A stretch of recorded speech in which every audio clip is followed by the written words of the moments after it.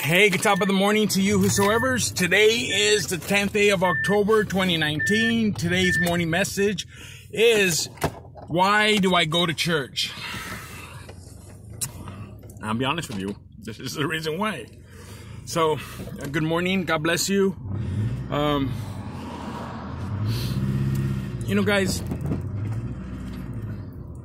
the Bible does talk about not forsaking the gathering of the saints. Okay.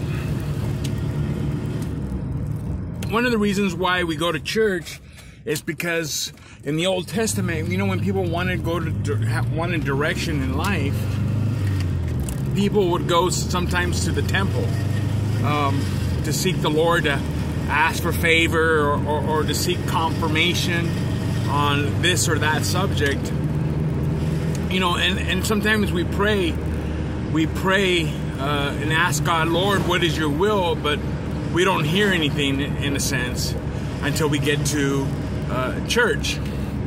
And then, you know, Pastor Dylan has a word from the Lord uh, to give to us. And, and, you know, that's what church is. Church is uh, having a word from the Lord to the people in the congregation. And the funny thing is, Pastor Dylan, or we can give one word and it can and the Lord can speak to the to the people listening ten different ways. So uh, another thing why we should not forsake the gathering of the saints, or you find a good Bible believing church, is to get there early. You know, I've been I've been my brother Chewy.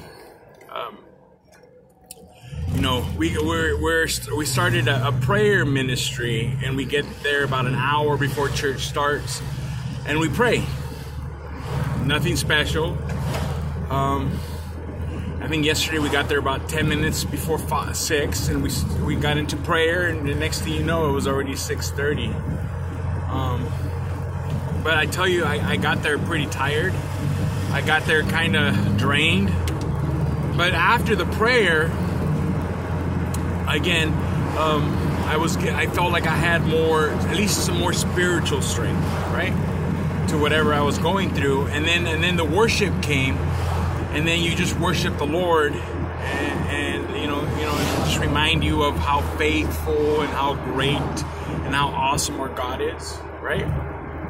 And um, so then the message came, and it was on First Kings chapter two, and it was the death of David, and, and David told Solomon's son, "Hey, David."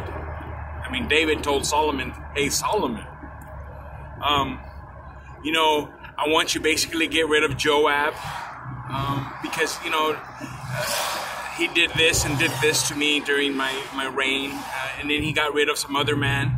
Um, then he got rid of his older brother. Um, King David had had scourged the whole land and found this this woman to lay with him not sexually, but it was like a maid servant. And the Bible says she was the most beautiful woman in the land. Um, at the end of at the end of Second Samuel, we, we, or at the beginning of First Kings, we see uh, again uh, before the reign of Solomon that the older brother gathered Joab and Ebenezer or Abadiah, some one of those names to to to basically um, anoint him as king.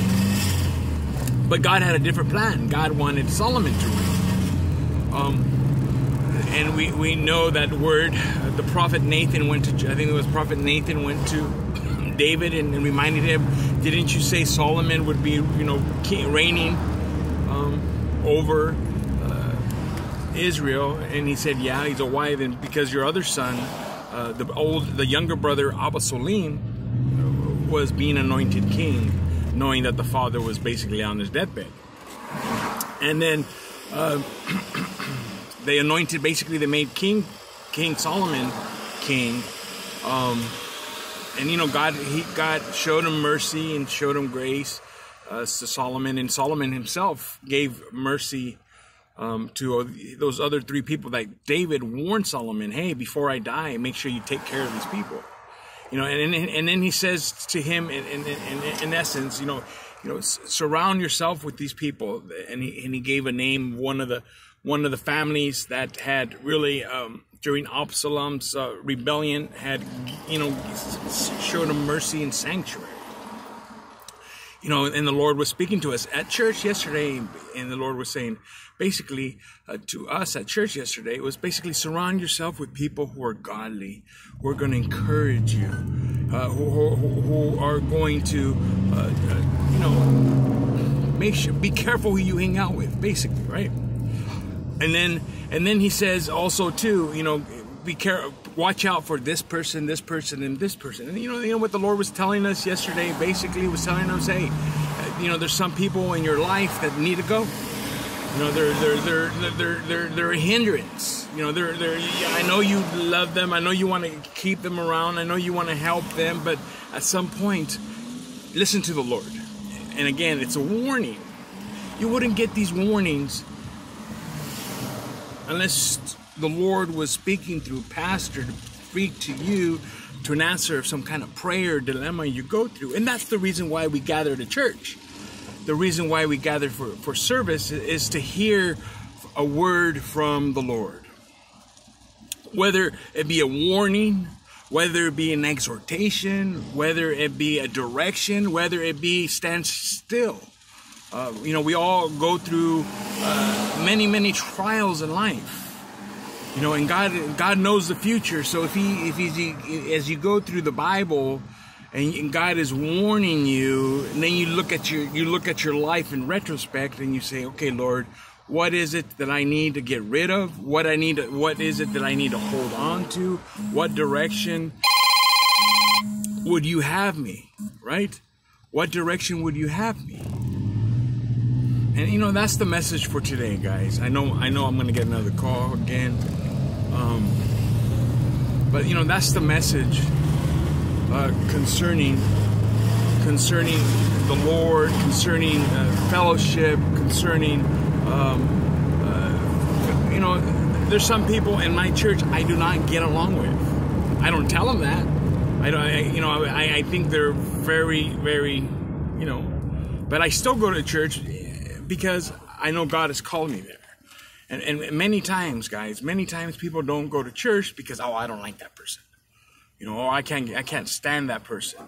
Hey, you go to church because God called you there, and that's the only that's the only that's the only reason why you need to go to church. That's the only reason why you need uh, to to be there know, to, to have fellowship. Because not everybody, again, remember King David was King David, but there was a lot of people in his court that he basically did not get along with, who betrayed him, but God still was protecting him and in him and guiding him, whether it be Joab, whether it be Absalom, whether it be uh, Abner, whether it be uh, uh, Solomon's mom, Bathsheba. You know, the, you know, the, there was a lot of contentions and trials, but, but David made sure that even though he he wanted and desired to serve the Lord, that he was being faithful that God has called him to be king, and God him called him to write the book of Psalms and the and the book of Proverbs, um, um, and to be and, and to be a, basically a, a light and a salt to the nation of Israel uh, and to be a righteous king over the nation. God has called you to be a righteous king, in a sense, the king of your home. You know, there's many people. Uh, you know, be careful who you hang out with. Be careful who you marry. You know, if if, if you notice that the, that, that, that the person you're with, again, his children rebel and rebel and, and, and, you try to encourage them. I'm just like okay lord you know why are you allowing this? And then you just kind of think to yourself okay lord you know what plans do you have for me? You know maybe you're closing the door here you know? And you have to be faithful because you want to surround yourself as we were as we were listening yesterday with people who are going to build you up. People who are going to encourage you. People who are walking the same direction you know going not going again not going with the current in life because you know that current is very broad. And the bible says that many follow that current uh, again in a sense for their own demise you know um, and pastor dylan says any dead fish could flow downstream. It takes a, a, a born again fish a born again christian to go against the flow to go upstream, to to uh, uh, go against the current. You know, because this world is headed to hell in a handbasket. You know, and you don't want to be yourself being unequally yoked.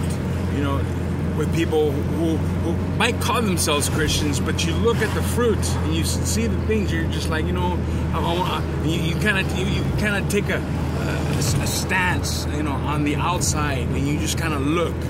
And, and then they ask the Lord, Lord, reveal to me what's going on. And then the Lord reveals to you, and you're just like, whoa, you know, do I really want to be entitled with this business or with this church or with this relationship or with this program or with this outreach. You know, you just you just got to be able to be in tune to what the Lord has for you.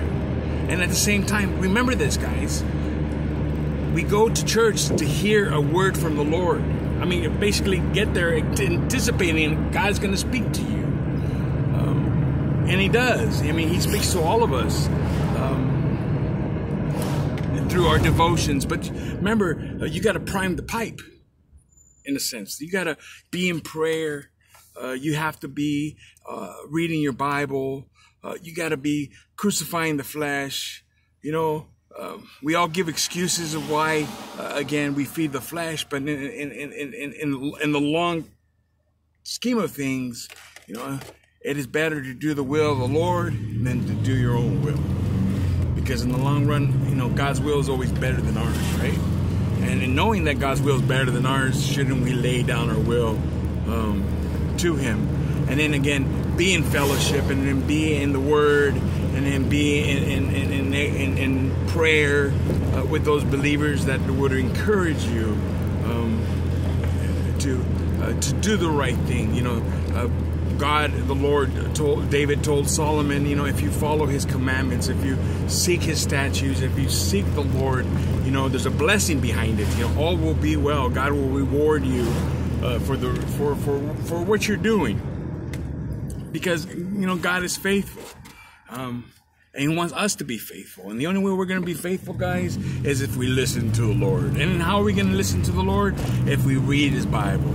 If we uh, go to church expecting to hear uh, directions from your, you know, you're, you're, you're, basically your, your captain in chief, you're, you're, you're, the Lord, head Lord, or, you know, the head of the church, you know, say, Lord, what is the plans for you? And sometimes the plans for you is not really do anything, but get right, do right, and get yourself in, in, in, the in the right spirit and basically in tune to whatever the Lord has. Because guys, uh, in, as the end days gain speed, you want to be a light and a salt to those around. So may the Lord bless you, be girded, be strengthened.